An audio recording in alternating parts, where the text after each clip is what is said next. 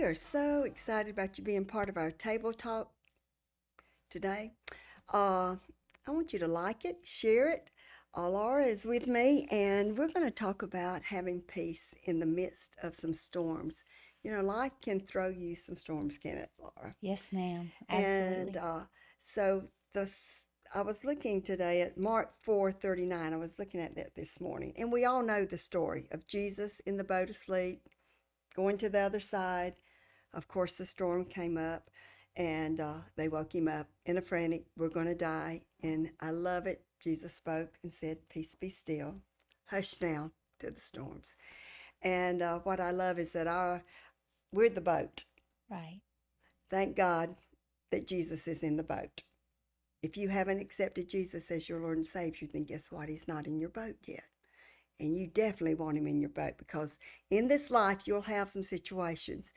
And it's nice to have Jesus Mm. in the boat. And uh, I know I've been going through some things that has had a, some bumps in the road, and I know you've been through things that's been some storms that Jesus had has carried us through. So I just want you to share what one of the victories that you had in a storm that Jesus helped you walk through. So we were sitting this morning going over some things in a Bible study that we were sharing this morning and and one of the questions came up and it was talking about the process and and Yes. and you're you're going through your process and what happens in your time of waiting in your process. And I just happened to bring up a moment in my life when when I was walking through the time of my husband being sick, you know, my previous husband Scott that was sick. We uh, you've all heard my story before, but uh, we walked through a journey of him having cancer, and um, there was a moment when we were waiting to whether see his manif- his healing manifest in his body, or we were waiting to see what was going to happen. You know, whether he was going to go to heaven or not, and um, those days when I was sitting in the hospital room, it just seemed so lonely. It seemed like where it was almost like my Yeah. world stopped and Yes. everybody else's world continued on outside the walls of that hospital. But there were days that I was sitting in that waiting room and I would just be thinking, time has just slowed down for Mm. me. And I would be reading, you know, the word, I'd be meditating on the word, I would be listening to worship music. But there was this hallway that I would walk down every day going into the ICU unit and going in there to visit with him. And I would pass up under this sign in the hallway every day, just giving direction. Here's the waiting room. Here's the unit. Here's, you know, just direction on where you needed to go. And so I was taking pictures one day and I took a picture of this sign hanging there and it said, you know, this is the way to get to the ICU waiting room.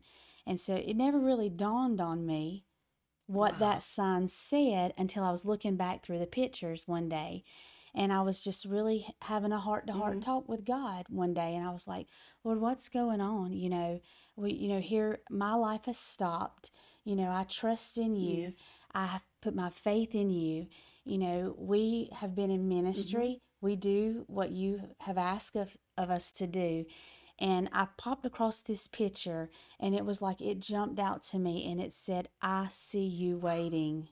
And so it was like that picture spoke to me, and it was almost like the Lord ignited something inside of me and said, You know what? Through all of your questions, through all of the days of you sitting here and wondering, He said, Don't forget, I see that you're waiting. Oh, I love that, Laura. And so that that moment, man, it just really it did something inside of me. Isn't, it- isn't it amazing that at that moment, a peace that passed all of your understanding came in?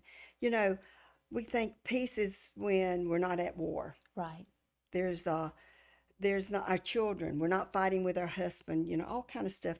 Uh, is we're we're not hearing a lot of noises. Is peace, but peace is a person. Right. In the kingdom of God, Jesus Jesus is the Prince of Peace. And the king was saying, Laura, Yep. I see you. And in the midst of our storms, we he never leaves us nor forsakes us, even when we maybe feel like, oh my gosh, we're in chaos. Yes. Because there is things times that we can have chaos going all around us and the winds howling and we feel so shaken.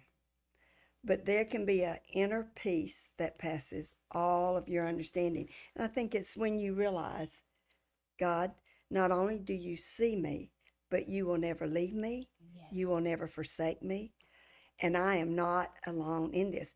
And I think the beautiful thing is, Laura, God gives us joy in the mm-hmm. morning. He does.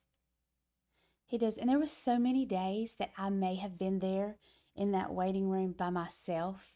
You know, obviously other families Yes. there with, you know, there, but there were days that maybe I was there by myself.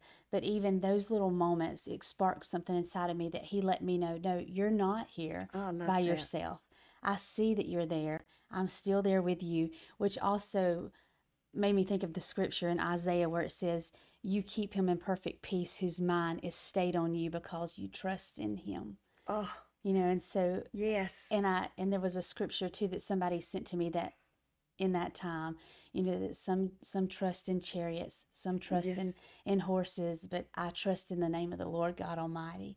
You know, and so just always day after day after mm-hmm. day continuing to put my trust in him and that's where that perfect peace came into play. You know, isn't it amazing?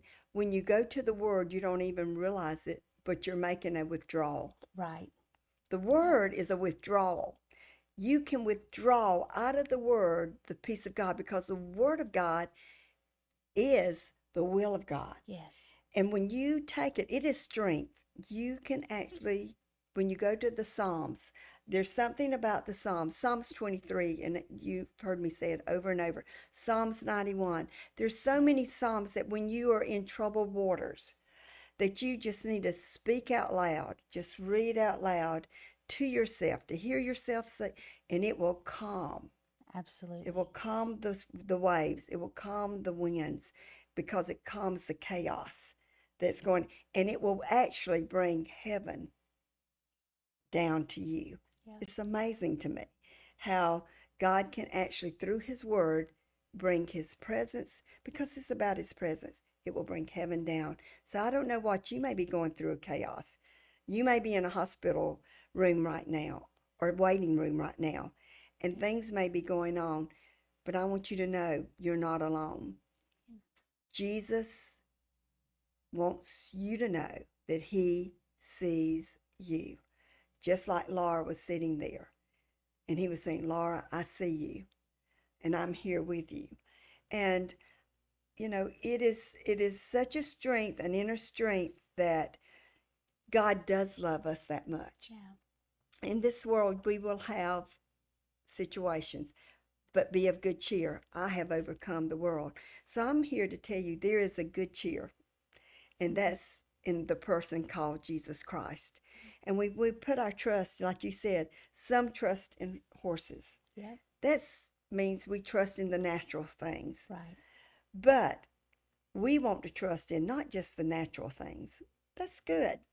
But we put our trust in Father God, Yeah. in the Lord Jesus, in the Word of God that is supernatural. And that's a different game changer. It brings it it brings things into this world is so temporary. It is but a vapor. And you realize, okay, Lord, let me center me back down. You know, the old anchor does hold, and that anchor is Jesus. And I think when we are going through difficult situations and we are in the waiting room, or we're in the waiting of a of a job change, we've got let go, or they've or or something has happened, and you're in a different situation, and you're like, okay, Lord, I don't want to be here, but it's kind of like you're in a, a hallway. One door is closed, the other one hadn't yet opened, and you're standing there in a hallway. What do I do in this hallway? And I love what Laura said earlier. She went to the Word, she went to prayer, she went to putting the worship music on. Yep. And Laura is a worshiper. And uh, there's something about letting God just putting that song in your heart in there, Laura. It is, absolutely. You know, it made me think about something too. Even during his process, of of him being in the hospital, I would bring DVDs of him preaching Oh, and bring a DVD player into the room and put those on the television and let him watch himself ministering so that he could see because it was important for me to to let him see that because I would tell him as a man thinks in his heart so is he yes. you know for him to continue to see whatever you're feeling in your heart you are yes. you know you're not laying here, here in this bed laid up sick you know we're just going to continue to to declare you know what you are in jesus and Oh, so I love that. Faith, having faith right in having God, Having faith having Ha- faith putting the vision out there, seeing beyond the natural to the supernatural. Ah, that's that's powerful. absolutely So, you know, what are you putting before you? What are you putting before you? If you're fighting a sickness, put on your refrigerator, your mir- your mirrors, those healing scriptures. yes Put see see yourself. Put pictures of you running. Put pictures of of uh, strength. Put pictures of health. Uh, put before you what you declare. Put the vision before you. Without vision, we perish. And the vision is the word. The Lord said, I wish above all things that you would prosper, be in health as your soul prospers.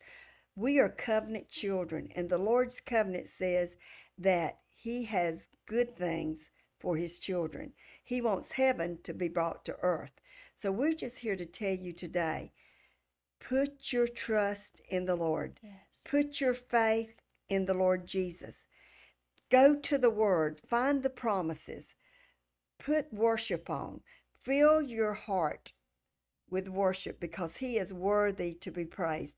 It's not about what you're going through because it's about He is worthy. It's amazing. Our worship changes the atmosphere to get us beyond where we are now to where we are going to be. And God says, What? He says, I am working all things for your good. So I just want you to know be of good cheer because the Lord is overcome. And He says He's made us more than overcomers. So we love you. We want you to know God is for you. We're for you. And if you've not got a home church, we at Covenant Church would love to see you. Our hearts and our doors are open. The Lord Jesus has a plan. Laura, I'd like for you to just pray us out and just about for people to know that the Lord sees them right where they are, right in their condition, and He's got a way for them. He is the way maker. He is the promise keeper. He is the miracle worker. yes he is yes well father we love you god and we're so thankful for all of your many blessings and lord today we have just come together lord and we're sending out this podcast over the airways, Lord, and we're just so thankful, God, for all that you're doing. And right now, Lord, I pray, God, that if there's anyone out there under the sounds of our voices, Lord, Yes. that Father. is maybe calling out to you, God, or maybe they're in a situation, Father, where they seem helpless, God, where they feel like they've lost all hope. God, I pray, Father, that they would turn their hearts and their minds to you, Lord. Maybe they feel like they're all alone, God. I pray, Lord, that the Holy Spirit would just reach out to where they are right now, God, that they would understand, Lord, that they are not alone, Father, that you are always there, God. You've never left us, Lord. You've never forsaken us, God, that you are always in our midst, God.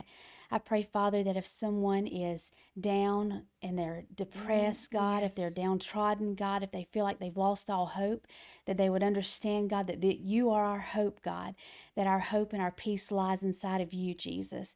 I pray, Father, that if there's anyone there under the sound of our voice, mm-hmm. God, that does not have you as Lord and Savior of their life, God, that that peace and that only and that hope only comes from mm-hmm. having you as Lord of their life. And I pray that today would be the day that they make you the Lord of their life. Yes. And God, I pray, Father, right now, Lord, that you would just give peace, Lord, to those who are walking through trials, God. Well, Lord, your word tells us that we're going to face trials, God, but that we're overcomers, Lord, that we're victorious in you, God. The battle is not ours, Father, but that it is yours, Lord, and that we are victorious, Lord. God, I thank you, Father, for being our hope and our peace, God. I thank you, Father, for for just allowing us to to walk through trials god and as crazy as that sounds lord you got god you give us the strength to walk through the valleys god you cause us to come through those things even stronger, Lord. Lord, when Jesus was in the wilderness, Father, he come out in the power of the Holy Yes, Spirit. yes. And I just pray, Father, that we come out in greater power, Lord, and strengthened in you, God. And I thank you, Father, for what you're doing in our hearts and our lives and our mind, God, that we're strengthened in you, Lord, that your peace surrounds us like a shield. Your favor surrounds us, God. And Lord, we're strengthening you, Lord. We just thank you for what you're doing in Jesus' name. Amen. Amen. God bless.